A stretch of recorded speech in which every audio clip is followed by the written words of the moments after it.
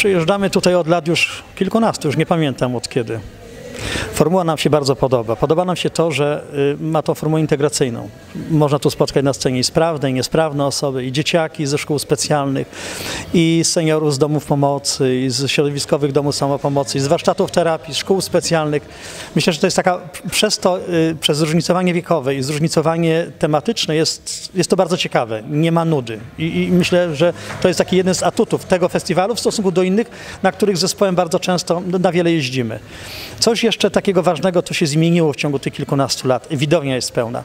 Pamiętam pierwsze, pierwsze festiwale sprzed wielu laty, kiedy graliśmy do niemalże pustych krzeseł.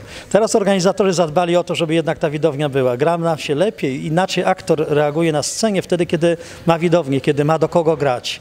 Myślę, że to jest bardzo ważne i organizatorzy widać dużą wagę do tego przy, przy, przywiązują. Jesteśmy tu już po raz kolejny, już nie pamiętam który i cieszymy się z faktu, że mimo y, uciążliwości całego dnia pobytu mamy siły na to, żeby zagrać, mamy na to siły, żeby wystąpić. Witamy bardzo serdecznie.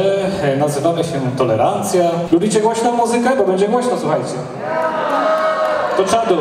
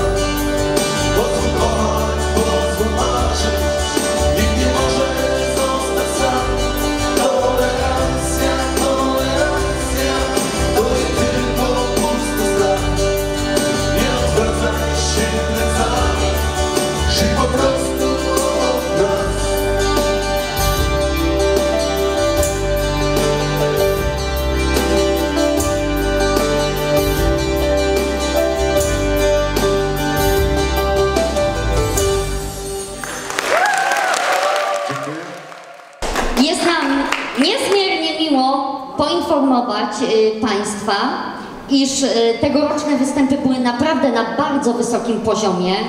Y, Jesteśmy naprawdę dumni, że taka ilość y, zespołów y, w różnych kategoriach, zarówno w kategorii wokalnej, instrumentalnej, tanecznej, jak i teatralnej, z całego województwa śląskiego zaszczyciła nas swoją tutaj obecnością i poziom naprawdę był bardzo wysoki. Mieliśmy nie lada wyzwanie, aby y, po prostu przyznać y, Państwu e, nagrody, wyróżnienia, chociaż chcemy tutaj zaznaczyć, iż wszystkim chcielibyśmy e, pierwsze miejsce przyznać, bo naprawdę wszyscy byliście wspaniali.